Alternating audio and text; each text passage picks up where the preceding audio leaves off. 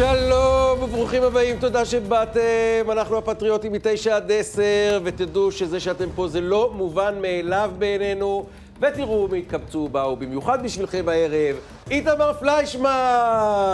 רבותיי, כפיים, כפיים. יאללה, מזמן לא היית פה. אין הדר עבאס ולילה סביב השולחן הזה. מה קורה? בסדר, מה העניינים? בסדר, מה שלומך? נהדר. איך במאחז?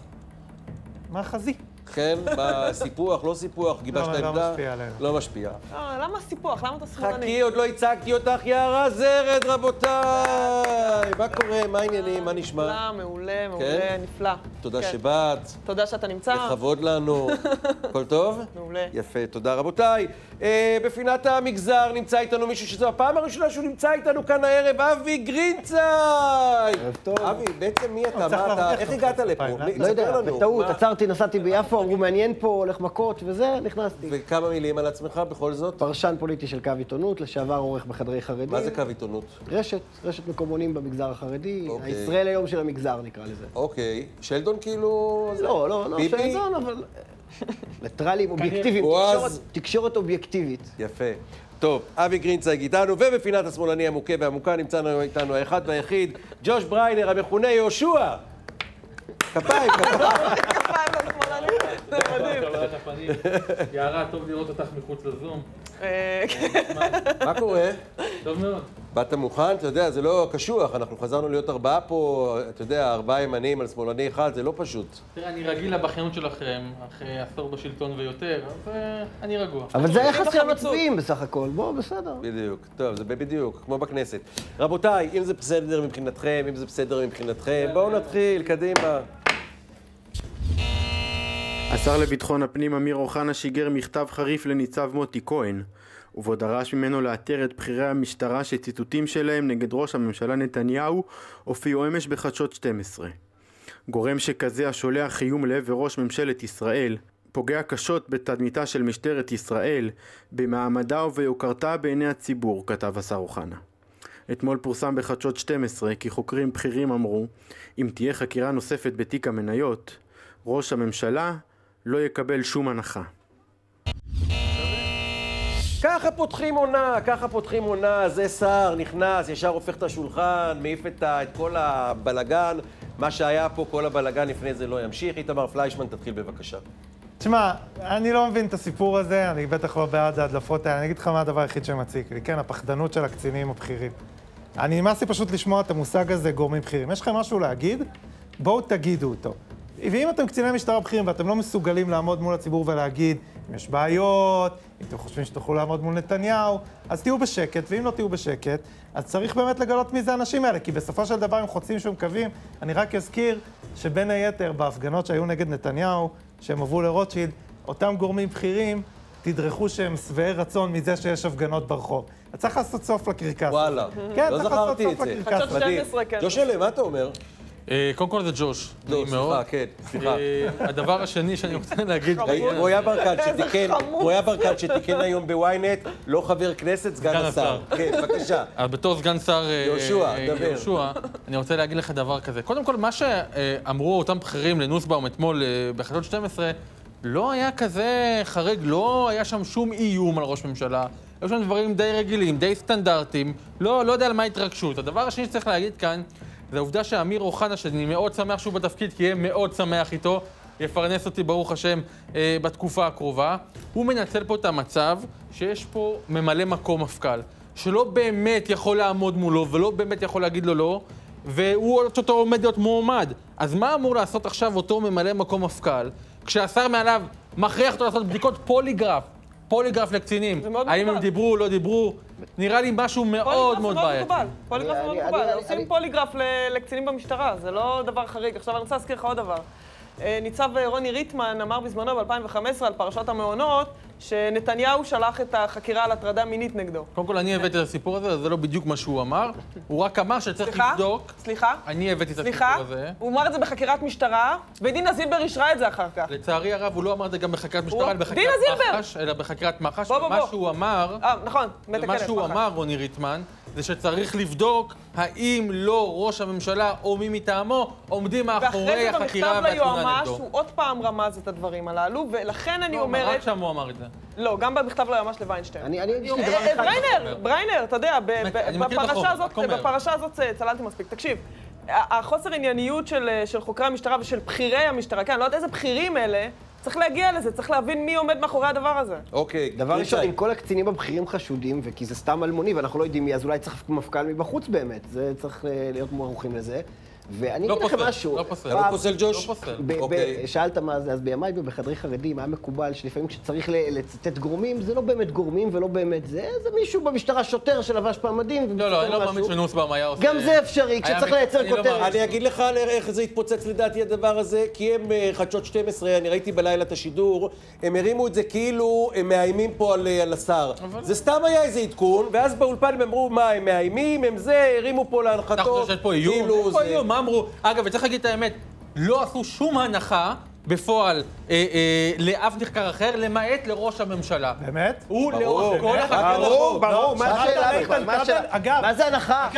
בשידור חי נתנו לו הנחה. רגע, אני רוצה להזכיר איזה זה? הנחה לא עשו.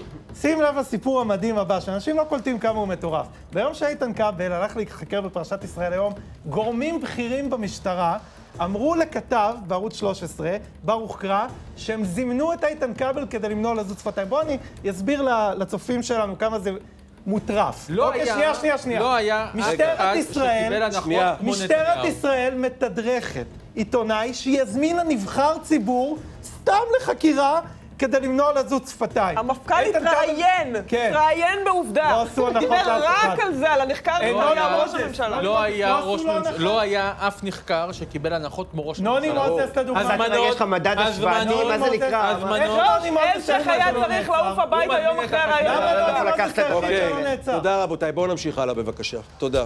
כן. החוק הצרפתי שהגשנו אמש נועד להוציא את ההליך הפלילי מסל הכלים הפוליטי במדינת ישראל. כל עוד ראש הממשלה לא עבר עבירה חמורה בסגנון של רצח, אונס או פגיעה בביטחון המדינה, החשדות נגדו יחכו עד ליום בו הוא יסיים את תפקידו. זה קריטי ליציבות השלטונית וזה קריטי לאמון של הציבור במערכת המשפט. לאזרחי מדינת ישראל מגיע ראש ממשלה במשרה מלאה. טוב, יפה, ימינה הם קצת בכף הקלע כזה, לא יודעים מה זה, אתה יודע, נגד נתניהו, אה, בעד נתניהו, נגד ראש ממשלה, בעד ראש ממשלה, עכשיו החוק הצרפתי. אגב, הסיפור היום הוא איתן גינזבורג, אה, יו"ר סיעת כחול לבן, שהתראיין הבוקר ב-103 ואמר שיש מצב שכחול לבן תתמוך בחוק הצרפתי. למה לא? למה לא? ראינו פה ראש ממשלה אחרי ראש ממשלה נחקרים, יש לך יועץ משפטי חסר רסן שאין עליו שום גורם שמפקח עליו, ברור שצריך לעצור את הקרקס הזה. לעצור, אי אפשר לחקור ראש ממשלה. ודי, נגמר הסיפור. יכול להיות. מפחדים חקירה נגד של ראש בני גנץ. הממשלה אגב, החליפי. אגב, לא, לא, השמאל קיבל את זה קשה, אני חייב לציין, בגלל זה אני פונה אליך בנימה. אישית. רגע, מילה לפני שהוא זה, לדעתי- האם השר. זה נורא, סגן השר, האם זה נורא בעיניך שכחול לבן יתמכו בחוק צרפתי? הרי לא מדובר בנתניהו, לא ביבי, לא שמיבי, לא בודקים לו זה. אחרי זה, להבא, מה? הבעיה? יש לגנץ חקירה על הפרק, אני- את אה, פרשת אה, הממד החמישי. קודם כל, אני לא מאמין שגנץ ייחקר בממד החמישי, להערכתי התיק הזה הולך להיקבר, כי ככל שאני רואה ושומע, אין שם באמת שום דבר. אבל אולי. לפיד יואו, יחקר. 50 מיליון אולי שעברו. לפיד בעתיד. רגע, אתה- לנתניהו עשו הנחות. הם לא עשו, אבל חושש? הם פתחו בחקירה בשביל למנוע לזות שפתיים. כן. אתה לא חושב שלפיד יחקר בעתיד? בקשרים עם ידיעות, משהו? כשהוא היה ראש ממשלה. אה, אני כבר לא זוכר מה התחלנו בכלל להגיד פה. אני רוצה להגיד לך דבר אחד אה, שהתחלתי להגיד החוק קודם. הצרפתי, אנחנו מדברים, בוא נגיד לך, ערוץ 20, הפטריוטים, חוק צרפתי, איתן גינזבורג, כחול לבן. אני שמח. לראות שכחול לבן מתחרים בימינה, מי יהיו אסקופה נדרסת יותר בפני נתניהו. כחול לבן פשוט, אני, לא תראה את קשור איתן. גינזבורג, רק לפני חודש, מה זה חודש. קשור לביבי? זה לא רק קשור, ביבי זה לא רק קשור קפץ לצרפתי לביבי עכשיו. זה לא קשור לביבי. קשור. למה? כי זה אבא, אנחנו זה לא רואים שכחול איך, לבן איך? שהיו אמורים להיות אלטרנטיבה שלטונית, בפועל נותנים לביבי כל מה שהוא רוצה, והם מוכנים מבחינתם. למה לא? זה חוק יעיל, חוק טוב, למה שיתנגדו? זה לא חוק יעיל. לדבר. להתנגד? זה לא חוק יעיל. כי אני לא הייתי רוצה לראות ראש ממשלה שחשוד בש, בשחיתות, לא נחקר, ואנחנו נחכה עד סוף הקדנציה שלו, שמי יודע מתי היא תהיה, כדי שהוא ייחקר, ממש לא. אתה מבין שכל הזמן מטרידים את ראש הממשלה בכל מיני חקירות מומצאות? אין פה ראש ממשלה אחר כבר יותר מעשור, אני לא יודע מה... אבל אה, לפני זה היה שרון, אולמרט, כולם לפני, וגם נחקרו. ראש הממשלה הנוכחי. וצריך להגיד, קודם כל, ימין הם מנסים אה, אה, לתקוף מימין, מעולה, אחלה חוק, מצוין. צריך להגיד, זה בלי הגבלה של אה, קדנציה של אה, ראש ממשלה, החוק הזה, לפי הבנתי, הם לא מגבילים קדנציה, שזה את בעד הגבלת קדנציה? לא, זה לא דמוקרטי בעליל, לא. והחוק הצרפתי, בקיצור, שיעבירו, למה לא?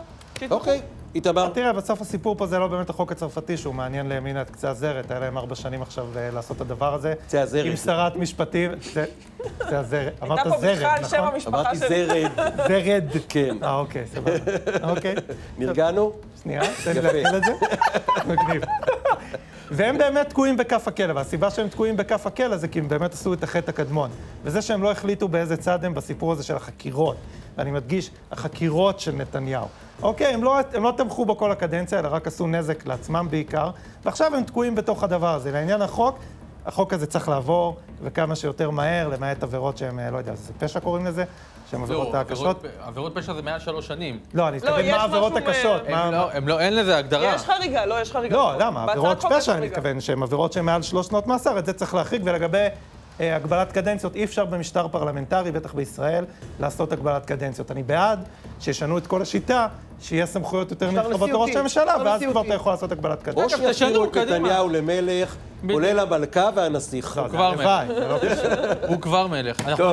נדבר על הנסיך היום, או שזה לא נדבר, בית? נדבר, תרגיע, אתה יכול לא. להיות רגוע בעניין הזה, אנחנו נדבר. אוקיי, בסדר, רבותיי, אה, נצא להפסקה פרסומות קצרה ונחזור תכף עם שאר ענייני היום.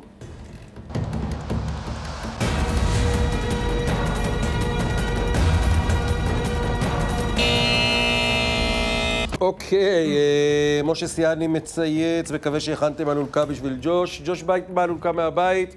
אה, אלדד יניב, אני רואה, מצייץ. היי אלדד, הכל בסדר? אנחנו איתך. בואו נמשיך בבקשה.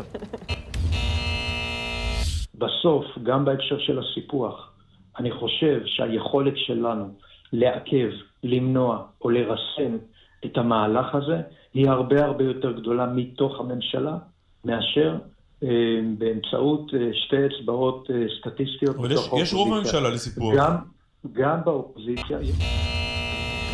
אוקיי, אה, תראו, זה לא פשוט מסתבר העסק הזה, כי יש אה, התנגדות כמובן גם משמאל, שזה ברור, ואתה יודע מה, מה שנקרא מן המפורסמות, אבל יש גם התנגדות מימין. למשל, תראו קמפיין ש, שמוציאה המועצה האזורית אה, שומרון נגד הסיפוח הזה, הם קוראים לזה חצי סיפוח, גם מועצת יש"ע מתנגד, מתנגדת למהלך הזה. אפשר לראות בבקשה את הקמפיין של מועצה האזורית שומרון, וגם זה המפה, המפה שהם מראים, שבעצם כל השטח הופך להיות פלסטיני, אוקיי? זה רואים פה עכשיו את האזור של השומרון.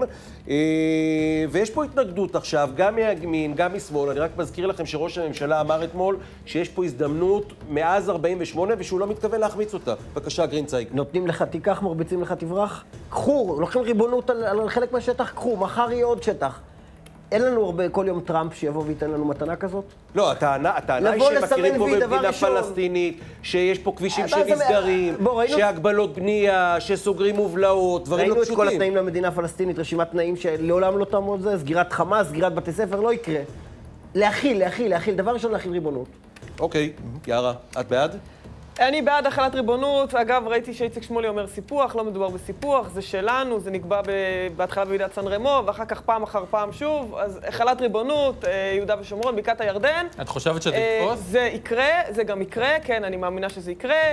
גם על אה, העברת השגרירות אמרו שלא יקרה, גם רמת הגולן אמרו שלא יקרה, קרה גם קרה. אה, לנושא מועצת יש"ע, אני אומרת, יש להם טענות נכונות, לא הכל, חלק מהטענות נכונות. צריך את הלחץ הזה מימין, בסוף יגיעו לעמק השווה, יגיעו להסכמה עם האמריקאים. מדינה פלסטינית כמובן לא תקום כאן, זה פשוט לא יגיע מהצד שלהם, ויהיה החלת ריבונות בעזרת השם. כמו שאמרו אצלנו לפעמים, שטוב שיש את החרדים הקיצוניים שמחזיקים את כולנו ככה על הקצה, שומרים אותנו קצת יותר מדי זה, אז טוב אולי שיש קמפיין כזה של תהיו עוד יותר ימנים, בסדר. אולי לשנות את המפה. זה לא ישנה הרבה, אפילו עוד קצת, ישתנו. אפילו בשביל כן, הלחץ, דברים- אפילו בשביל הזה. אני מניח שדברים עוד יכולים להשתנות. ג'וש, דעתך? לא מאמין שזה יקרה פשוט.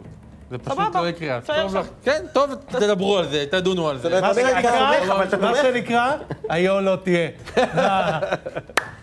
אמריקה רוצה, נתניהו רוצה, אתה אומר זה לא יקרה. אני לא מאמין שזה יקרה. נתניהו היו לו עשר שנים לעשות את זה, לא עשה את זה, הוא גם לא יעשה את זה. לא היה טראמפ, מה אתה רוצה עשר שנים? היה טראמפ.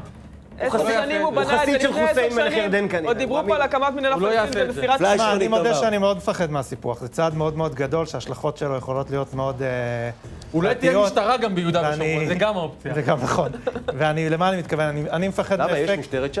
תקשיב טוב, אין משטרה גרועה כמו משטרת שי, אין אכיפה ביהודה ושומרון, אין אכיפה על יהודים, אין אכיפה על לא, כי פלסטינים. ביתר תראה המדינה... מה קורה. ביתר המדינה, מה? אבל יש. זה קצת פוגע בי שאתה קטעת אותו באמצע נכון. הדברים, אני אחזור אליך. בסדר, אבל, זה דווקא לא, אבל. אם יש משהו חשוב, זה הדרכים ביהודה ושומרון. איש הישר בעיניו יעשה. לצערי, המתנחלים למדו מהפלסטינים, יש שם נהיגה פראית, כמות תאונות המתיישבים, מטורפת. המתיישבים. וכשאין אכיפה, אז כל אחד מרשה לעצמו צריך להגיד גם לעשות שהפשיעה. יותר נמוכה ביהודה ושומרון באופן כללי. כן, בלי משטרה. אז לא, אתה- לא, כן, אתה בעד. ריבונות, שתהיה משטרה כמו שצריך. תהיה משטרה. עכשיו יש, יש, יש משטרה שיכולה לעשות מה שהיא רוצה, שתתחיל לפעול שם. כן, אוקיי. אני מפחד מהריבונות כי אני מפחד מאפקט התנתקות הפוך. זאת אומרת, שיהיה פה איזה מהלך שהוא חד צדדי בסופו של דבר, שהוא יגרור תוצאות קשות, ואז יגרור את החברה הישראלית לפחד מכל צעד כזה בעתיד באופן אה, שמשגר. רקטות לשם? אבל אחרי שאמרתי את הדבר הזה, כן? אני אומר דבר כזה לחבריי במועצת יש"ע. א', המפה הזאת היא המצב הנוכחי בשטח. זה מה שקורה היום בשטח. לא בדיוק, כי אה, שם עם נכנס שינויים, שטחי אתה יודע, עם C. לא. לא, לא, השטחי C הופכים לאדומים. זה שטחים מאוד מאוד קטנים, וגם ברמה הביטחונית, C, ברמה נכון. הביטחונית אין עם זה בעיה, ברמה לא- הביטחונית אין עם זה בעיה, אוקיי, כי הצבא יהיה שם בכל מקרה, כן, אבל עזוב, אוקיי, אני מקבל את זה. אני רוצה להזכיר משהו לחברים שלי, המתנחלים מימין. בשנת אה, 91 הלך יצחק שמיר לוועידת מדריד, באתם, הפלתם אותו, קיבלתם את רבין. ב-96 הלך נתניהו להסכם חברון, באתם, הפלתם אותו כי הוא לא ימני, קיבלתם את אהוד ברק. אחרי זה קיבלתם גם את אריק שרון, ועשור שלם שבו הדעה הציבורית הייתה בכלל לצאת מכל השטחים, כולל רוב לתוכנית ההתכנסות. בכנסת, בקלפי, באיפה שאתה לא תרצה. לא מפספסים הזדמנויות כאלה. זה לא יחזור. בנובמבר אנחנו יכולים לקבל ממשל אמריקאי שילך מה זה לכיוון ההפוך, אולי בדברים שאנחנו לא מסוגלים לדמיין. זה הזמן. השמאל לא היה מפספס הזדמנות כזאת. זה זה הטעות שלנו כל הזמן, הדיונים הפנימיים, כן, כדאי, לא, זה מושלם, לא מושלם. השמאל, אם היה מקבל הזדמנות הפוכה, לחתום על זנב של הסכם, היה חותם מיד. לא, אדוני, שיעשה את זה מחר. בלי לחשוב בכלל. לא, אני גם, יש פה ראייה, יש. פה בסוף אה, בן של היסטוריון עם ראייה היסטורית, שאומר אה, שהוא הולך, אה, מתכוון על זה שאין הזדמנות כזאת מאז 48, וגם ב-47 ובתקופות שלפני הקמת המדינה, כשלישראל נתנו אופציה של חלוקת הארץ, מה שנתנו שטחים, ישראל תמיד אמרה... לא. דומה, לא דומה, כי אז לא היה לנו כלום. אז לא היה לנו כלום. היום יש לנו מדינה ריבונית. אז מה, אבל נותנים לך לא עוד. לנו אז אנחנו כלום. לארג'ים, נותנים לך אנחנו עוד. לארג'ים, בוא לא נוותר. ולקחנו מה שנתנו לנו בחפץ לב. ולמזלנו לא רצו, והייתה מלחמה גם את יהודה ושומרון. נתנו לנו, בריינר. עכשיו גם את יהודה ושומרון נתנו לנו. תקשיבו רבותיי, אין, אין לו אומץ, הוא לא יעשה את זה לא בראשון ביולי, ולא יעשה. בראשון ביולי 2022. יעשה, גם יעשה, ואתה יודע מה? זה ההישג האדיר של נתניהו. זה ההישג. האדיר של רגע, נתניהו. שנתערב, שנייה, נפתח פה התערבות על השולחן? הגענו לשיח על החלת ריבונות. התערבות זה על ההישג השולחן, האדיר יהיה שלו. סיפוח. זה המדיניות של התערבות עשר על שנים של השולחן, עוד. חצי שנה, יש סיפוח או אין סיפוח? אני מאמין שלא יהיה סיפוח, כי אין לו אומץ. ארוחה. בקבוק ארוחה, ערק, מה, מספיק. איפה, בגאולה? מה? לא, לא, אני אעשה לך אני לא מקבלת את התזה הזאת שצריך ללכת עם ההמון. לפעמים ההמון טועה, ובמקרה הזה הוא טועה מאוד מאוד מאוד. איך אני אוהב את היציאות האלה? זה איזה יופי. מה היית עושה בלי. זה? אה, כן, בלי לא זה? יודע. מה אני בלי השמאל, בלי עיתון הארץ, בלי, בלי, אני כלום, אני, כלום ושום דבר, אתה מבין? באה אחינועם ניני ואומרת, לא צריך לקבל פה הכרעת הרוב. מה זה כל הדמוקרטיה הזאת, וכל ההמון הנבער הזה, וכל האנשים האלה שנותנים להם להצביע בלי שהם יודעים קרוא וכתוב? איפה נשמע כזה דבר? אנחנו לא הנאורים, אנחנו הנאורים, זה הסאבטקסט של העניין. זה הסאבטקסט, שלא אוקיי. צריך ללכת עם הרוב. כן, שלא צריך... מה יהיה? השמאל דעתך. יתייאש מהדמוקרטיה. השמאל יתייאש. בבקשה, ג'וש. מה יש לי להגיד? אתה רוצה שאני אגיד לך נוח? תענה, תדבר. אני קודם כל אני מציע שהאמנים יתרכזו קודם כל באומנות שלהם. דבר ראשון. במקרה שלה אני לא בטוח, אבל בסדר. סתם, דבר סתם, ראשון. סתם, סתם צחוק, זו בדיחה, כן. דבר אוקיי. ראשון. דבר שני, זה לא מה שהיא אמרה, למה אתה מכניס לה מילים לפה? רגע, אתה מכיר בשלטון הרוב? נו, מה, אני חי פה. מה הכוונה אני לא מה אני מקבלת את? התזה שהרוב צודק? לאן זה הולך? מה מה המשמעות הנסתרת? מאיפה אני יודע? מה, אני פרשן די, של נו, הזמרת די, הזאת? נו, אם זה היה בא מימין... איזה שירים גם יש לה, אם אני זה היה עוד לא- בא לא- לא מימין, מצליח הייתם אומרים... ואתה... תקשיב, הבעיה שהשמאל מה זה אם זה היה הרדיקלי... הבא? אריאל זילבר. הבעיה שהשמאל הרדיקלי מגיע למקומות האלה שפשוט הוא כבר... אין, אין דמוקרטיה, עזוב את הציונות שהם איבדו בכלל את הראייה. אין דמוקרטיה. זה פשוט... מה, לקחתם פה, בונים פה תיאוריות, לא החינוך תיאוריות, זה מה שהיא אמרה, זה הטקסט שלה. שאני בעצמי לא יודע, אפילו שיר אחד לא יכול להיות עכשיו לדעת חוץ מבואי קלה זה שלה. כן. יש עוד שיר של- שלה חוץ מבואי יש קלה? משהו עם רגע, הסרט רגע, רגע, האיטלקי. רגע, לא, לא, אתה מכחיש את זה בכוונה. אתה מכחיש את זה בכוונה. הרי, הרי, יש? עמותות השמאל... אני לא יכול עכשיו להגן עליה. ריינר, כי לא. מייצגת עמותות אותי. השמאל, עמותות לא, לא, השמאל לא, לא, עתרו לא. נגד זה שנתניהו יכהן, למרות שהחוק מאוד ברור, חוק יסוד מאוד ברור. אז אחינועם ניני אומר את המשפטים האלה, אבל זה ברור... עמותות השמאל עתרו. כל העמותות ביחד. מה, עם כל הכבוד. העובדים אגב, הם הלכו. לבג"ץ, בג"ץ קבע, זה הכל. אגב, זה הכללים. רגע, רגע, אז. אנחנו נראה, יש מצב בג"ץ. שנראה עתירה לבג"ץ? חוק, נעים מאוד. לא, לא, אה, אבל ג'וש, אם אה, נהיה נראה שנייה רציניים, ואתה יודע, אני אקח את זה, יש קצת תחושה שהשמאל התייאש מהדמוקרטיה. מאיפה אתם שבעצם... מה- זה- כאילו? מה, זה לא נכון? אתה בא מניח זה הנחת לא יסוד, נכון. וזה, מה- מה אנחנו חיים פה, מצביעים פה, חלק מהשמאל בממשלה, לא מבין מה. הדיבור פה. אגב, מה, עומד אתה להיות... אני עוד- היחיד שמרגיש ככה? לא, לא, אני לא, גם... לא, אני- אני- אני אני אומר לך, ינון, הם עוד יעתרו לבג"ץ להכיר בזה גם במשפט הזה, שרוב לא מייצג וזה בסדר. אגב, כל העניין, כל העניין שבג"ץ הוא מעל נבחרי הציבור, זה... זה גם משהו כזה. מחיקת כי- הדמוקרטיה לבג"ץ. למה מישהו. פה יוצא מנקודת הנחה שהם אי פעם האמינו בדמוקרטיה? השמאל הישראלי מעולם לא האמין בדמוקרטיה, הוא האמין שאני שולט, ואם אני לא שולט, זה אומר שהבבונים שולטים, ואם אי אפשר בקלפי אז נלך לבג"ץ, ואם אי אפשר מבג"ץ אז נלך לפה, ואם אי אפשר את זה אז נעמוד עם אה, אנשים עם חולצות שחורות. ונצעק אה, צמודות, דמוקרטיה. ונצעק דמוקרטיה, דמוקרטיה. כשבעצם ואם לא צריכים זה- לצעוק אריסטוקרטיה. אם לא זה, נלך למועצת הביטחון של האומים בצלם כדי לטנף על המדינה. ואם לא זה, אז ניקח את שוברים שתיקה, שיעלילו עלילות אנטישמיות על חיילים ישראלים. ואם לא זה, אז נביא ממשלות זרות שיתערבו לנו כאן בחיים. ואם לא זה, ננסה לשבש תהליך הדמוקרטי. זה אנשים שלא יודעים מה זה דמוקרטיה. כי הדמוקרטיה תפגע להם בפנים בשיא הכוח, הם לא יבינו מה קורה איתם. מה הייתי עושה בלעדיך? מה הייתי עושה ברוך בלעדיך? השם. הליצנות. הזאת שלה, זה הזדמנות לחדד אולי משהו אחד על המושג שלטון החוק. כל פעם שאומרים שהכנסת מקבלת משהו וזה, בג"ץ זה שלטון החוק, אסור לפגוע בשלטון החוק. אני נזכרתי בשיר שלטון השני. החוק זה שלטון העם. חוק הוא לא הלכה למשה מסיני, הוא לא נבואה. חוק זה רצון הרוב העם. זה המושג בדמוקרטיה. נזכרתי בשיר השני שבג"ץ מתערב במשהו בכנסת, הוא פוגע רק בשלטון רק החוק. שאהרון ברק אמר שדמוקרטיה זה הערכים של הדמוקרטיה. ומה עם הערכים של הדמוקרטיה לפי אהרון ברק? הערכים זה הערכים. הליברליים של תפיסת העולם מה הליברלית. פתאום? זה של ערכים של אהרון ברק. דיקטטורים לא אכפת להם מערכים, אכפת להם מכוח. ברוך השם שיש לימין את ערוץ 20 להגיד את ה... אל תגיד ברוך את השם, זה את הדתה. הקשקוש הזה. כן, ואז יש את. אה, ניני עם כי אם החוכמה אני שלה, יכול עם דברי לסכם את כל. מה שאמר פה פליישי במילה אחת חרטא. תודה, זה היה עמוק. כן. תודה לך על הדברים אני האמיתיים. לא יודע איך.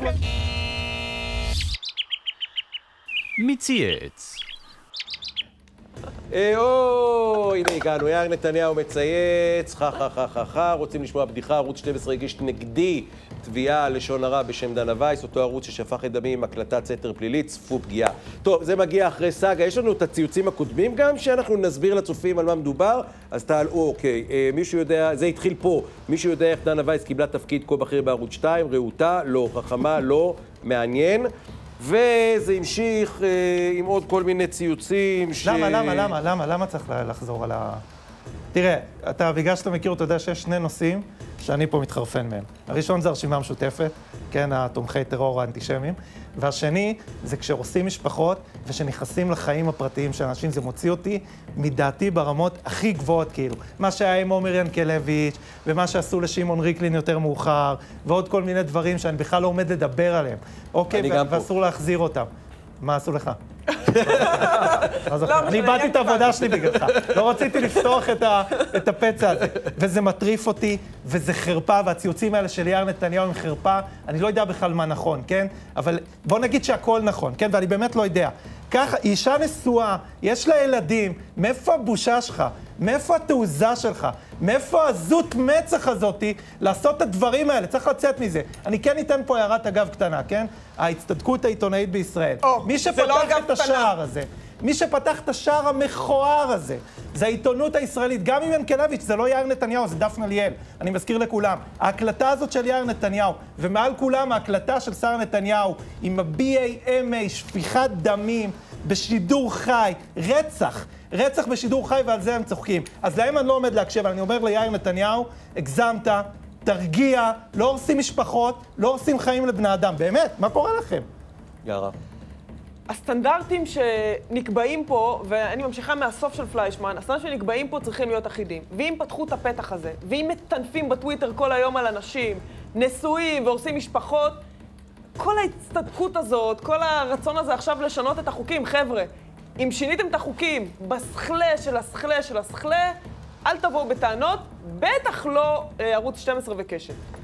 30 שנה שופכים ליאיר נתניהו את הדם. כשהוא עוד היה בעגלה, כבר שחטו אותו.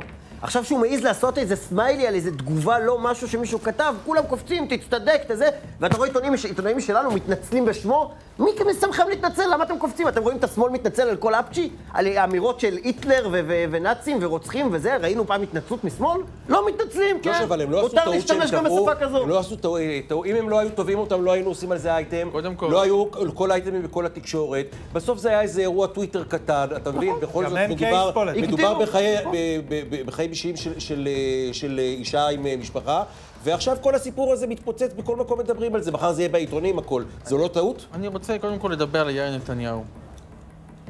במקומו הפער בין סבא האיש- שלי, על יאיר נתניהו. האיש, הפער בין ההתבטאויות הבוטות והמבישות והמבזות של האיש הזה בטוויטר, לבין הדמות שאני רואה פה לפעמים בערוץ 20 של איזה ילד אה, תמים, עכשיו שבקושי אה, אה, מוציא... בחור שיורדים לחייו. יורדים לחייו, די. כולם עצום, בטוויטר. מה זה משתנה? לא- פער בין הטוויטר לחיים יש אצל כל אחד. אני לא, לא, עם כל הכבוד, ההתנהלות שלו בטוויטר, ברשתות החברתיות, גם אתה נראה פה נחמד. תודה רבה.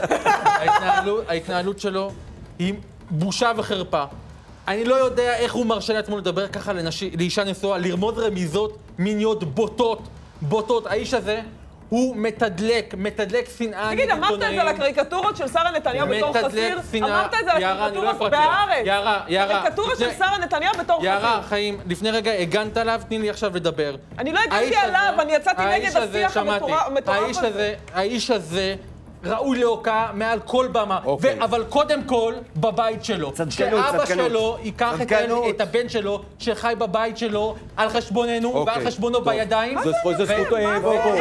בוא, זה? מותר לו, לא לעבוד. מותר לו, זו זכותו, זה לא רלוונטי. זה- זה זה לא רלוונטי, זה זה לא. רלוונטי. אתה רואה, אתה עושה את זה- אותו זה דבר. אתה. עושה את אותו דבר. ויעמיד אותו במקום. החיים האישיים שלו זה לא העניין שלך. הבן, הבן של ראש ממשלה לא יכול להתנהג ככה, אוקיי. נקודה. אז אני רק אגיד, לכם? שא', אני תמיד, כמו פליישמן, אני תמיד מתנגד שמכניסים עניינים אישיים מלוכלכים, כמי שספג את זה בעצמו ברמה אולי הכי קיצונית, מהכי קיצוניות שהיו פה, על, אה, על, אה, על, אה, בטח על אישיות אגב, ציבורית. חוץ משרה ו... חוץ מנתניהו, חוץ נתניהו. ממשפחת נתניהו. ואני אומר את זה, והסיפה של דבריי, שאת יאיר, שאלתך איך זה קורה, זה נורא ברור איך זה קורה. כשילד גדל לתוך רמיסה של הזכויות שלו, ברמה, אתה יודע, שרומסים את המשפחה שלו, את אבא שלו ואת אימא שלו ואותו מגיל חמש, אז לא פלא שבסוף זה מה יש שיוצא. גבול. לא, יש אז גבול. לא, אה, לא אין פלא, גבול, כי אבל מה שעשו לא לו. סליחה, סליחה, כשהוא היה. בנסיעה פרטית לפוסיק כעת הזה, אה, כן?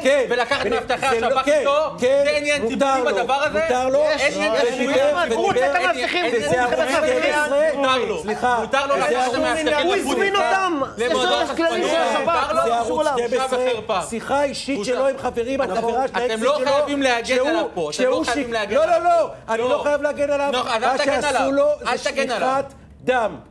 שפיכת דם. זה. שפיכת הנה, הוא. קיבל את הבמה שהוא לא, רוצה אני- הזה. אני- ההגנה שלו. אתה אתה לא עונה בכלל אתה לטיעון. לא- אתה לא עונה לטיעון. אני עונה לטיעון. מה ההבדל לא בין זה- להיות. מה ההבדל בין זה להקלטה הזאת? אני אסביר לך מה- אתה יודע בדיוק. מה- ההבדל בין אני זה להקלטה בדיוק. הם שהיו ישבו? ישב גיא פלד, אני אסביר והקליט לך את בדיוק.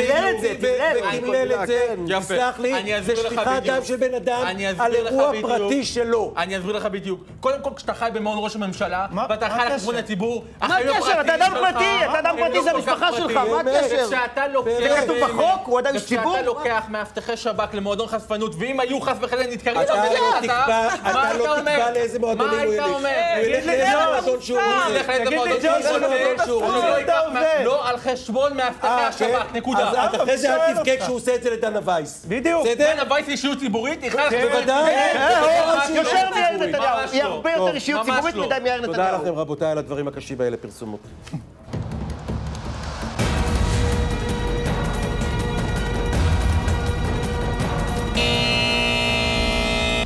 היי, תודה שחזרתם אלינו, אנחנו הפטריוטים מ-9 עד 10. חברים, נרגעתם קצת? בסדר? אפשר לא, לא. מה- אפשר תגובות מהקהל? מה אמרו התגובות? שאתם חנונים.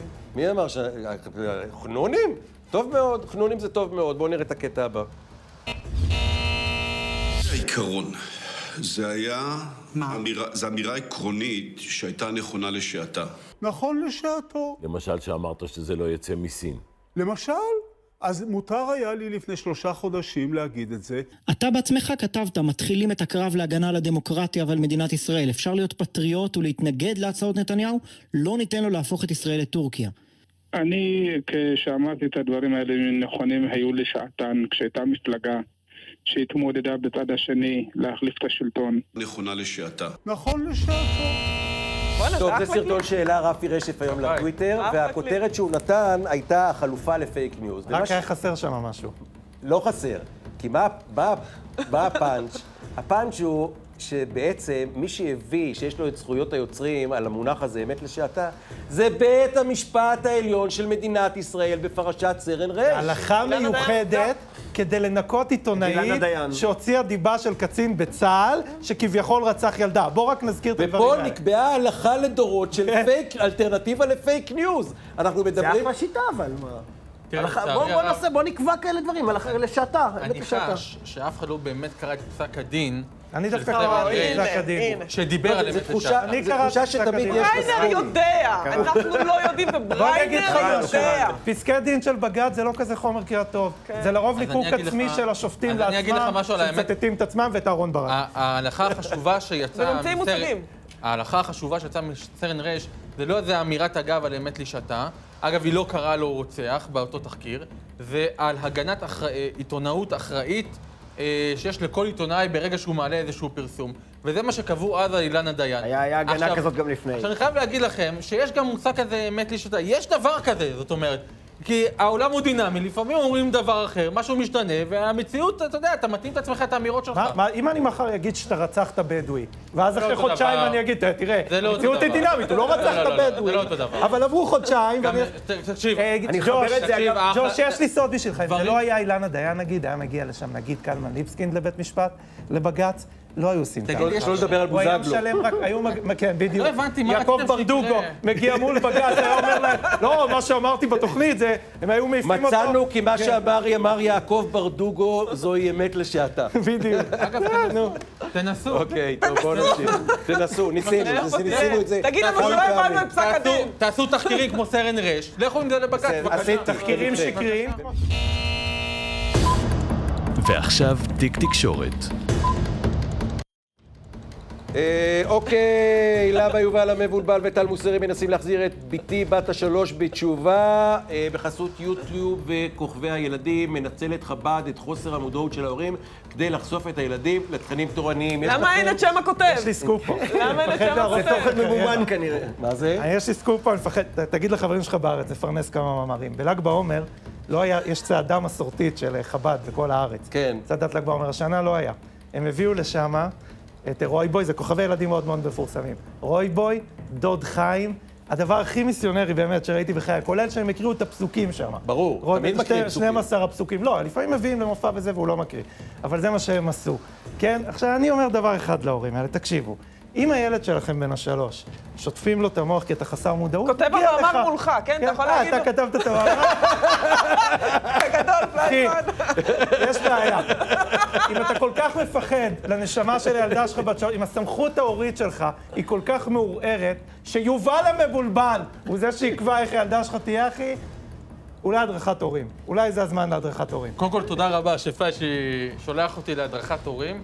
אה, אחלה מאמר, אני ממליץ לכולם אתה מצדד בו. להיכנס לאתר מה הארץ. רצית להגיד? ולקרוא. תשמע, אני למי חייב... שלא קרא. לא כולנו קוראים הארץ. בעיה שלכם, חבל, כן. 4.90 יש חודש ראשון חינם. אני אגיד לך לגבי, אני מאוד מתחבר כמובן למה ש... פלאשי לא ידע שאני כתבתי את המאמר, והוא הרגיש בדיוק כמוני. כן, זה גם- עומד- עומדים, עומדים כוכבי ילדים, רוי בוי, דוד חיים, הילדים, מה? יובל המבובל, ומדקלמים מולם את 12 הפסוקים, שזה, אני, זה בורותי. פסוקים, רחמנא ליצלן. לבורותי אני לא ידעתי, 12 פסוקים, אוי לא ואבוי. ידעתי את זה, שנייה. לא ידעתי את זה, מקרבים אותם לחב"ד. עכשיו, אני גם כותב במאמר, האחריות היא שלנו, זאת אשמה של איזה ההורים. פסוקים? שמע ישראל וכאלה. שמע ואיום, ישראל, ממש אבל גם פסוקים. אחרים שאני באופן אישי לא מכיר, והרבי קבע שזה מזרז את הגאולה, ומספרים שהרבי מלובביץ' שהוא מלך המשיח, זה לא מה שאני רוצה להעניק לילדה שלי. עכשיו, אם היו מראים לי רבי, איזה חב"דניק שהיה עכשיו 40 דקות עם הילדה שלי, לא הייתי נותן לו. אבל הם יודעים, והם יודעים את זה, אז הם מביאים את יובל המבולבל ורוי בוי ודוד חיים, שהילדה שלי תדקלם את זה. זה לא החינוך שאני רוצה ריינר, להעביר להם. ריינר, ריינר. אני רגע, לא בריינר, רוצה, צריך אגב. כשאני רואה את זה, אני עושה סטופ, אבל לא תמיד יש לי שליטה, ואני מודה, הילדים מול המסכים, וחב"ד מנצלים את זה. ריינר, הם מממנים את הדבר הזה, בסדר? זה, זה ברור. עכשיו, צריך להגיד, המקום הזה הגיע בגלל הקיצוניות שהלכה לצד השני. האקסטרה הכלה הזאת, שהיום הילדים באמת נכנסו לסוג של בורות כזאת, שהם לא מכירים את כל התכנים, ואתה יודע, גם במערכת הלימודים, במערכת... זה המינימום של המינימום, 12 פסוקים, על מה מדובר? וראיתי זה המינימום של המינימום? כן, וראיתי גם... 12 פסוקים. לא, ראיתי זה שאתה לא משתמש... שמע ישראל, ראיתי שילד ידע להגיד שמע ישראל. בריינר, ראיתי זה לא נותן לו שמע ישראל, שהיא צועקת שמע ישראל. כאילו. רחמנא ליצלן, הילד זה- יודע פסוקים זה מהתנ"ך. יהדות. אבל באמת, אבל לא, אבל אני לא רוצה זה הגיע, שמע ישראל. אתה צריך להבין. לא חב"ד, קודם שנייה, כל, לא חב"ד. אני רוצה להגיד עוד משהו. זה- רגע, תן לי לא, לדבר. ג'וש, תן לה לסיים. מילה אחת, ותמשיך, סליחה, לא. בגלל שאני אישה מזרחית. לא, לא, לא. סתם, תמשיך.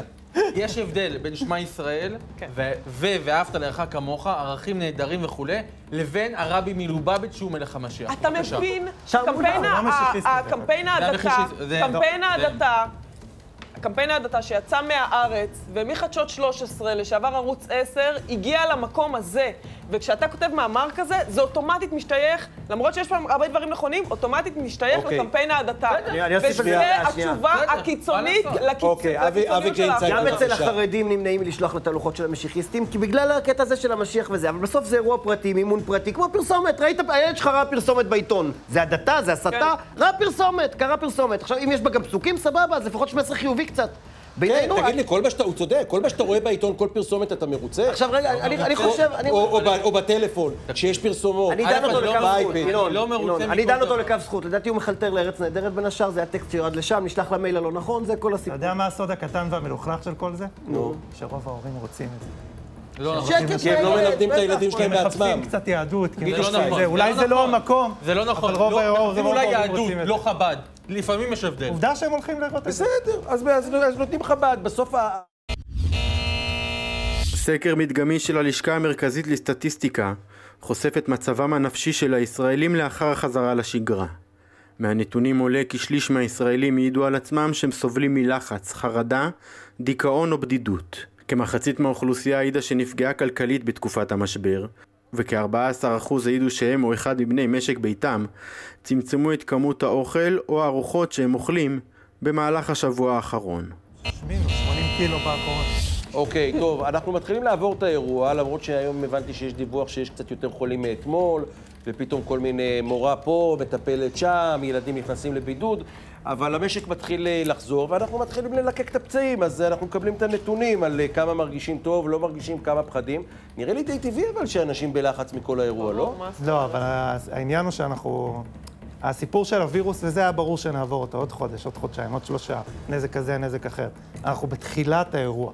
אנחנו בתחילת האירוע. אנשים עומדים להיכנס פה למצב, מי שעוד לא נכנס, עומדים להיכנס למצבים קשים ביותר של עוני, של דיכאון, של לחץ. אנחנו מדינה קטנה, בעצם מדינת אי, אנחנו תלויים מאוד בסחר חוץ. ארה"ב עדיין בבלגן, אירופה עדיין בבלגן, התיירות הנכנסת לא קיימת, אנחנו הולכים לתקופה סופר, סופר, סופר קשה. אנחנו רואים את זה כבר, אגב, באלימות בתוך המשפחה, בעלייה מאוד מאוד... מטורפת, עלייה מטורפת. מאוד מאוד גדולה, ואנחנו עומדים לדעתי, ואני מקווה שאני מאוד מאוד טועה, לראות עלייה באובדנות, לראות עלייה חדה בגירושין, לראות עלייה חדה בעוני, וצריך להיערך לדבר הזה. גם בילודה. גם. בילודה, גם כנראה. בילודה. עוד שבעה להבדיל, רגע. רגע, תבדיל בין כל התופעות שאמרת קשורות אולי לזה שאנשים היו סגורים בבית כמה חודשים, זה קשור לאחוז גבוה של גירושין, של התאבדויות, של דברים כאלה. החלק הכלכלי, קצת הגזימו פה. זה לא דומה למפולות של 2001, לא של 2008. אין פה מחיקה של הון, כסף לא נמחק. אנשים שלא קנו, השאירו את הכסף בכיס, ילכו עכשיו למסעדה לקנות. מיליון... התמ"ג ירד בשבעה לא, נקודה. לא, לא היה פה- באמת משבר כלכלי בסדר גודל העולמי של לפני 10 ו-20 שנה. מה אתה מדבר? זה המשבר שנייה, הכלכלי הגדול ביותר במאה השנים האחרונות. מה... בטח, מהשפעת- הספרדית. עכשיו, לא, מהשפל הגדול בארצות הברית. לא, עד לא, לא, 2000, זה הגיע, אגב, אחרי 1929. השפעת הספרדית. שנייה. ברגע שהמשק יחזור לתקנו, רוב הדברים יחזרו בסך הכל. קודם כל הוא לא יחזור הוא יחזור. אני אומר לך שבאוצר מדברים על שנה בערך, שנה, שנה וחצי, לצאת מזה כמעט לגמרי. אני סומך על ראש הממשלה שלנו, בנימין. האוצר אופטימי בגלל אה, סיבובי העבר, שלא השקיעו יותר מדי כסף, פספסת פה את המשפט הכי. חשוב בתוכנית. מה אמרת? אני חושב שביבי אשם. לא. וואו, באמת? במצב. מה הוא אמר? הוא אמר שהוא סומך על ראש הממשלה. נתניהו. תשמע, אני אומר באמת, אני סומך על ראש הממשלה שיוציא אותנו מהמשבר הזה. קודם כל, זה לא, זה לא הכל עליו, כי... אבל מה אני עשיתם חושב לו? מה שבסופו של עשיתם דבר... לו? הבאתם שמאלן לערוץ דבר, 20, מה אנחנו עשיתם פה סובלים אה, אה, מבעיה אחת מרכזית, שלא היה פה שר אוצר שנה וחצי. זאת הבעיה המרכזית. לא היה מי שבאמת ינהיג את הכלכלה של ישראל אז. יש יהודי בשם משה. כחלון שהיה שר אוצר נפלא, לא- למה הוא אתה לא מזלזל קיים, בו? לא היה קיים שנה וחצי, זאת האמת. האוצר מזעזע. יערה. אני חושבת שאנחנו נצא מהמצב הזה יותר ממה שאנחנו חושבים. אה, ואני אומרת, סבלנות, נכון שהלימוד במשפחה והדיכאון, אה, אבל... אה, למה אני תמיד פסימי ואת תמיד אופטימי? בדיוק, אתה מבין? זה האי-ודאות, 50-50. יש לך ניצוץ שמאלני כזה. אוקיי, אני רק אגיד שערוץ יותר 20 אה, נרתם אה, לסייע לעסקים הקטנים, זה מופיע לכם אה, מתחת, בתחתית המסך, אתם יכולים אה, להתקשר. 1 מה 750 נותנים? 2020 זה חשוב? זה- זה הדבר הכי חשוב באמת, העסקים? הקטנים. הם הסיפור הגדול אה, שלנו. ערוץ 20 נותן סיוע, פרסום. אה, יש כוח, יש, אה, אתה יודע, ל- למדיה יש כוח, אז אה, משתדלים לעשות אגב, אם יש משהו. אחד שצריך לתת מפה, זה קריאה לקנות בעסקים קטנים ולא ברשתות הגדולות. ובתוצרת הארץ, כחול אם אני לבן. רוצה לפתוח עסק, לשנן פסוקים לילדים בני שלוש, זה גם עובר? זה של חב"ד. שבת ישלמו לך. אוקיי, רבותיי, בואו נמשיך. מלחמת הסחר בין ארצות הברית לסין מגיעה לישראל. שבועיים לאחר שמזכיר המדינה האמריקני פומפאו העלה בפני נתניהו את החשש ממעורבות סינית בהקמת מתקן התפלת המים הגדול מסוגו בעולם, הבוקר דווח כי החברה הסינית לא זכתה במתקן ההתפלה, וחברה ישראלית תיקח אחריות על הקמת המפעל. בכך נמנע משבר חמור עם ארצות הברית, אך ייתכן שהחלטה זו תוביל לעימות עם הסינים.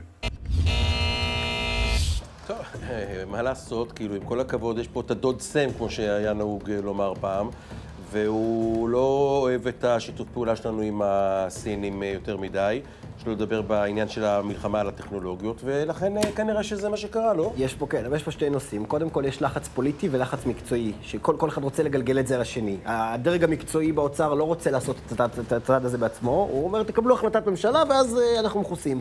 הדרג הפוליטי כמובן לא רוצה, כי זה גם לא נעים מסין, אז יש עוד מצב שכן תהיה פה זכייה סינית ויהיה לא נעים. והדבר השני שצריך לזכור, למה זה, למה זה חשוב כל כך לטראמפ? טראמפ יודע שבנובמבר אחד הדברים שיכריעו את ניצחונו זה ככל שהוא יצליח לעלות את הרף מול הסינים. אם הוא יצליח להצביע עליהם שהם אשמים בקורונה, הם אשמים בקריסה, הם אשמים בהכל, ככה יש לו סיכויים לשמור על הכיסא, וזה חשוב לו. ג'וש? הסינים לא מביאים לנו לומר. החלת ריבונות. אין לך מה לומר. יערה? הסינים לא מביאים לנו החלת ריבונות. יפה. מביאים לנו הרבה דברים קורונה. אחרים, אבל זה לא רלוונטי. בסוף אתה חי במערב, אתה צריך לבחור את הצד שלך, ואתה חייב לבחור בארצות הברית. לא, לא לא כרגע, לא. סבבה, אנחנו טובים. אוקיי, בסדר. אה, control alt delete. מי צייץ? כן, מי צייץ? תגיד, יש מצב חוזרים למאמר שלי עוד פעם, מדברים עליו? למה אתה... לא יודע? אפשר, אם אפשר. שנייה, טוב, מישהו בטוויטר. אה, אתמול כתבתי למנדלבליט אה, בוואטסאפ שיוריד את הכיפה לפני המשפט מכיוון שאלוהים לא אוהב צבועים. היום התקשרו מהמשטרה, בכיין התלונן, הוא לא יודע שאני לא סופרת אותו. במשטרה הסבירו לי למה אין להם קייס אליי, מבחינתי העיקר שקרא את ההודעות שלי. מה? קורה? טוב, זה יפה אפשר- שמנדלבליט, מנדלבליט אה, אסוף. אפשר להימנע מהמנהג המגונה הזה. מה, של אין להטריד? צורך לשלוח הודעות לטלפון. כן, גם קורא. לאנשי חב"ד להפסיק לפרסם את הטלפון שלי, אם אפשר. הבנתי את ה... בוא נבדוק. אה, באמת? אתה רוצה סיפור מצחיק? בוא נשים את הטלפון של ג'וש פה. יערוב לי. כן, כן. פעם הייתי באיזה מלחמת מתיחות עם מישהו. והדבר הכי אכזרי שעשו לי בחיים, הוא פרסם בעיתון חרדי מודעה קטנה. אוי, אני כתב זוכרת שם- את אני אגיד לך הסיפור מי היה הזה. מחפשת, אה, אה, כאילו אישה שידוך חוזרת בתשובה, מחפשת שידוך, נותנת דירה, ושם את המספר טלפון שלי. תקשיב, אני את. קיבלתי, לא אני לא מגזים, מאות, מאות שיחות טלפון. אתה יודע איך עצרתי את זה בסוף, דרך אגב? נו. היו מתקשרים אליי אנשים, הייתי שומע את הקול שלו, הייתי אומר, כן, אבל תשמע, יש בעניין אחד, היא פרנקית. ישר היו מנתקים את הטלפון. וואלה? בחיי. אני אשדרג לך את הסיפור הזה. הדלקת את ינון עכשיו. הדלקת אותי עכשיו. שני עיתונאים שהם חברים טובים שלו, והוא מכיר אותם, הלכו פעם מלחמת ביוב כזאת של הצפה, ואחד מהם נעזר בי. ואז היה תקופה שדני דנון אה, העביר ביקורת על נתניהו וזה, אז הצגנו, המספר של חיים לוינסון הפצנו עם אה, כיתוב, שזה דני דנון, ותחזקו אותו וזה. הוא קיבל משהו כמו 5,000 פניות. לא? יש, תשימו לב. כולל הקלטות, כולל... העניין שהחרדים, אתה מקבל עכשיו מחב"ד אה, טלפונים? כן. שלך? אבל אז זה- עשו את זה לרינה מצליח, שהיא מוכרת אה. מצות. ביצים. ביצים. מצאו לו ביצים זה היה... בקורונה. זה היה רזי ברקאי שמוכר. ביצים. גם וגם, היה ביצים לכולם. אה, טיטולים. לא, וטיטולים היה לאחרונה מישהו. והתמיכה באביב גפן. רזי. היה טיטולים. אפשר בן לדבר- כספית- היה ביצים. אפשר לדבר כן. על המהות אבל, ובטח כן. יקפצו פה. אה, יש תזמורת אה, שמאוד אוהבת אה, לשמוע את המנגינות הללו, מנגינות ההסתה נגד מנדלבליט, וצריך לשים לזה. אה, רגע, רגע, רגע, רגע, רגע, מי התזמורת הזאת? מי המסיתים נגד מנדלבליט? נפלת מי על עמדו השניים הלא מתחת נכונים. לבית שלו שנה? מי השחיתו לאבא שלו את קריקטורות, המצבה? השחיתו לו את המצבה. עקבו מי אחריו, את המצבה? אכלו לו. שירדו עליו ברקים מהשמיים. תגיד, בריינר, אתה כתב משטרה, מה קורה עם החקירה על אלה שהשחיתו את המצבה לאבא מה שלו? קורה? מה קורה? התיק פתוח, יקירי. הוא פתוח. למה התיק פתוח? למה מעל שנה? מעל שנה התיק פתוח. מעניין מי היה לו אינטרס להשחית את המצבה של מנדלבליט. אולי זה מפגיני השמאל מפתח תקווה. מה זה אולי? הם נחקרו, ואולי. ואולי זה חבר'ה של ראש. ממשלה. של לא, ראש לא, הממשלה. לא, לא היה שקר. ספק. לא היה שם שקר. לא היה ספק. לא היה. ספק. אה, ינון, אני יש אפנה הרבה ספק, אותך. זה לנאומו- שקר. נאומו המכונן של השופט אליגון. ממש לא. הם נחקרו, לא. הם נחקרו. אה, הם נחקרו! אה, תסגרו אה, הכל, גם לא ינון. נחקר, כנראה הוא עשה הכל. אוקיי, טוב. אה, רגע, מילה. על זה. השופט אליגון, נשיא בית המשפט בבאר שבע, מתחת לבית של מנדלבליט, אמר משפטים שאי אפשר לחזור עליהם בשידור, בסדר? אוקיי. מול- הבית אה. טוב, אז אה, אה, אני חושב שיש פה הסכמה שעדיף לא להטריד. אה, ב', בסוף אתה יודע, כאילו, חקירת משטרה על זה כן, שאמרו לו לא להוריד את דבר. זה הכיפה. מוגזם, אבל די, די עם המנהג המטופש הזה. בואו נמשיך. פרסומות? אז פרסומות, שיהיה פרסומות, שום בעיה, פרסומות. נחקרו.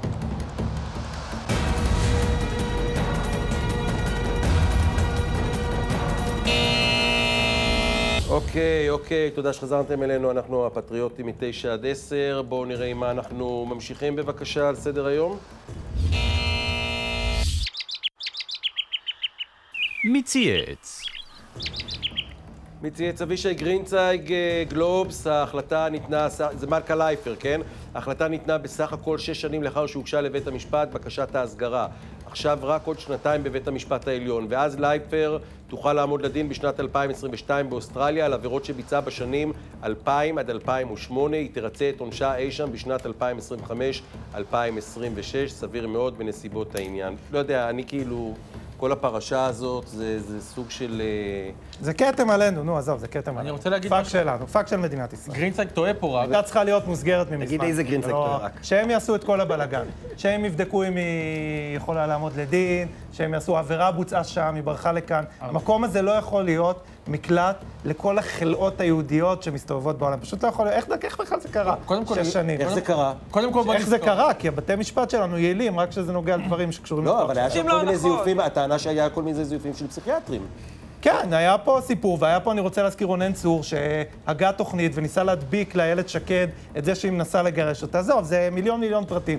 בסוף הגיע לכאן מישהי שמואשמת בעבירות מין סופר חמורות בקטינות, ואנחנו שש שנים לא מצליחים להסגיר אותה למדינה שהיא צריכה להיות מוסגרת. אבישי טעה. מה שנקבע היום בבית המשפט המחוזי, זה רק כן. זה שהיא כשירה לעמוד לדין, אבל לא דנו האם היא ברת הסגרה לאוסטרליה. כלומר, יהיה כאן עוד דיון של לפחות עוד חצי שנה, שנה, בלי בית המשפט העליון. והדבר הזה הוא אך ורק לפתחם של השופטים בבית המשפט המחוזי בירושלים, בדגש על חנה מרים לופ, שהיא אגב, אם אני לא טועה, מינוי, מינוי של שקד, אבל לא, לא שזה משנה, זה פשוט אה, אה, פאק מטורף של המערכת, שה, לא, שגוררת רגליים בתיק כל כך חמור, שמי יודע מתי הוא יסתיים אי שם בבית המשפט העליון, מתישהו עוד שלוש-ארבע שנים. אוקיי, טוב, בואו נמשיך.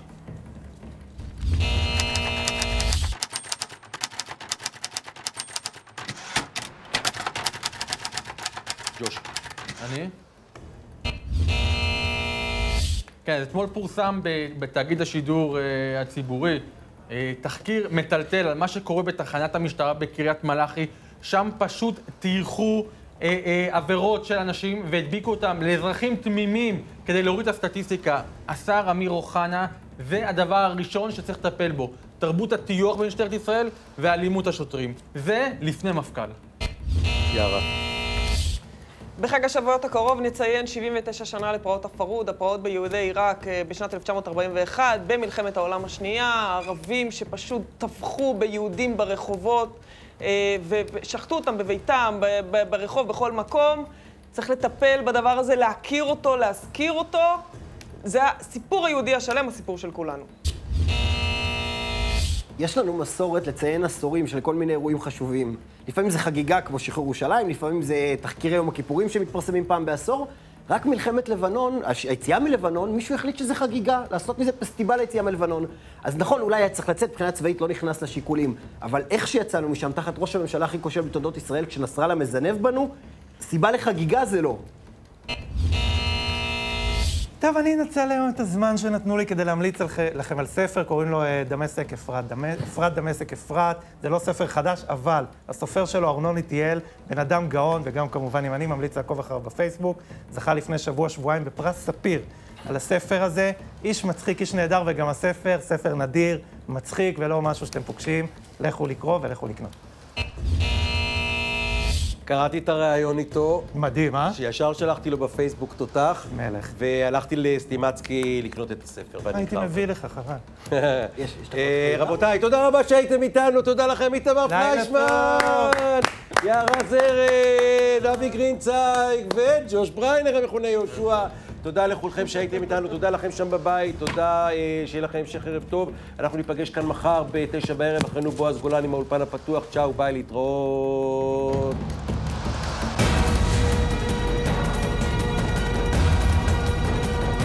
Bye.